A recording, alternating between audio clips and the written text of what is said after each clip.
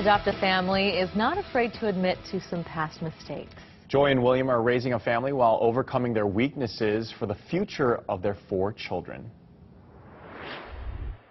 I was real bad. I left my family. Joy is a 22-year-old mother who made some bad decisions early on in life, including using drugs. I had to like wake up and I couldn't do it without God. You know, he helped me. She's been clean and sober for more than a year now with her husband, William, who's now working with Breaking Boundaries, but his income barely covers their rent.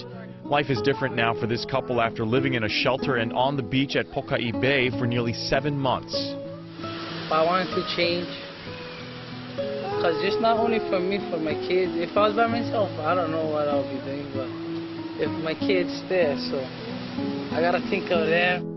Joy isn't working right now because of heart complications after delivering her five-month-old girl, Danielle. She's been seeing a heart specialist but wants to go back to school one day. I want to be a ultrasound tech for babies and tell the parents what they're having. For now, they're staying clean one day at a time and focusing on raising their children. That's what makes me young and like it keeps me going. They appreciate the littlest things which I'm thankful for that because most kids is, you know, some kids is hard.